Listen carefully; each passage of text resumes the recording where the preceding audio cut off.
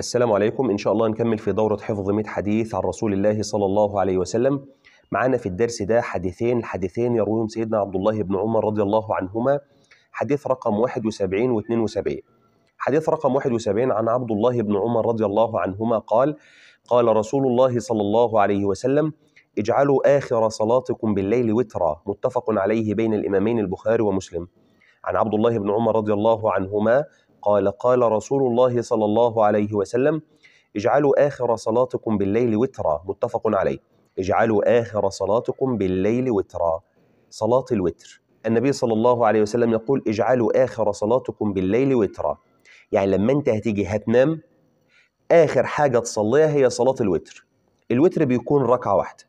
إن أنت بتصليه وهي سنة مؤكدة عن النبي صلى الله عليه وسلم من السنن المؤكدة عن رسول الله صلى الله عليه وسلم. صلاة الإيه؟ الوتر اللي هي ركعة واحدة. طيب أنت صلات العشاء ممكن تصلي السنة ممكن تصلي الشفع ممكن تصلي الوتر. ممكن إن أنا أقيم الليل فممكن أصبر لغاية لما أقيم الليل وبعد كده إن أنا أعمل إيه؟ أصلي الوتر. طب ممكن إنسان ينام بس ممكن ما يصحاش إن هو يقيم الليل فيصلي الوتر قبل أن ينام. يبقى اجعلوا آخر صلاتكم بالليل وترا يعني اجعل آخر صلاتك بالليل أن تكون وترا اللي هي ركعة الوتر السنة المؤكدة عن النبي صلى الله عليه وسلم. يبقى الحديث عن عبد الله بن عمر رضي الله عنهما قال قال رسول الله صلى الله عليه وسلم اجعلوا آخر صلاتكم بالليل وترا. متفق عليه. حديث رقم 72 عن عبد الله بن عمر رضي الله عنهما قال قال رسول الله صلى الله عليه وسلم ما زال الرجل يسأل الناس حتى يأتي يوم القيامة ليس في وجهه مزعة لحم. متفق عليه. عن عبد الله بن عمر رضي الله عنهما قال قال رسول الله صلى الله عليه وسلم ما زال الرجل يسأل الناس حتى يأتي يوم القيامة ليس في وجهه مزعة لحم. متفق عليه بين الإمامين البخاري ومسلم. ما زال الرجل يسأل الناس حتى يأتي يوم القيامة ليس في وجهه مزعة لحم. الحديث بيتكلم عن الناس اللي بتسأل اللي بتتسول اللي هي بتطلب المال بدون وجه حق بدون وجه حق. ما زال الرجل يسأل الناس يفضل يسأل ويلح في السؤال وده كثر في زماننا اليوم. حتى يأتي يوم القيامة حاله يبقى شكله إيه يوم القيامة؟ ليس في وجهه مزعة لحم.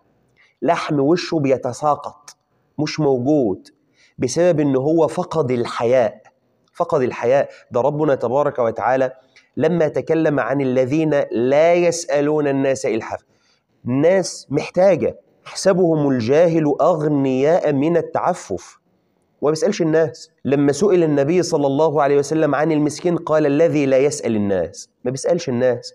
اللي هو المستحق ده إن أنت تظن إن فلان ده من الأثرياء وهو محتاج وهو من المستحقين للزكاة ولكن هو لا يسأل الناس إنما اللي بيسأل الناس وأصبح متسول وأصبح بياخد الشيء ده بدون وجه حق وبياخد حق الفقراء والمساكين. هذا يأتي يوم القيامة وليس في وجهه مزعة لحم. أمر خطير جدا. يبقى الحديث عن عبد الله بن عمر رضي الله عنهما قال قال رسول الله صلى الله عليه وسلم ما زال الرجل يسأل الناس حتى يأتي يوم القيامة ليس في وجهه مزعة لحم متفق عليه بين الإمامين البخاري ومسلم. يبقى إحنا في الدرس ده أخذنا حديثين. حديثين يروهم سيدنا عبد الله بن عمر رضي الله عنهما.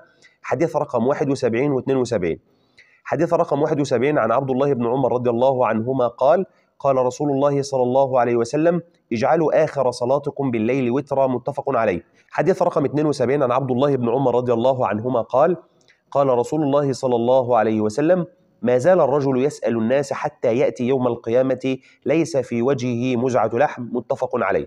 هنراجع إن شاء الله خمس أحاديث من اللي أخذناهم قبل كده من أول حديث رقم 21 ل 25 حديث رقم 21 عن أبي هريرة رضي الله عنه أن رسول الله صلى الله عليه وسلم قال ما أسفل من الكعبين من الإزار في النار رواه الإمام البخاري.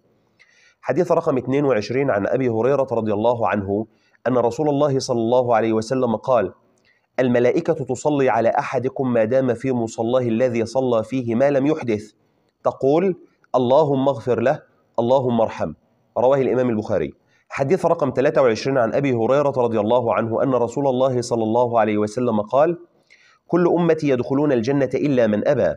قالوا يا رسول الله ومن يأبى؟ قال من أطاعني دخل الجنة ومن عصاني فقد أبى رواه الإمام البخاري. حديث رقم 24 عن أبي هريرة رضي الله عنه أن رسول الله صلى الله عليه وسلم قال إذا قال الرجل لأخيه يا كافر فقد باء به أحدهما رواه الإمام البخاري. حديث رقم 25 عن أبي هريرة رضي الله عنه أن رسول الله صلى الله عليه وسلم قال لله أشد فرحا بتوبة أحدكم من أحدكم بضالته إذا وجدها رواه الإمام مسلم. أسأل الله الكريم أن يرزقنا شفاعة رسول الله صلى الله عليه وسلم. طبتم يا أهل القرآن ونلتقي دائما على كتاب الله وسنة رسول الله صلى الله عليه وسلم. والسلام عليكم ورحمة الله وبركاته.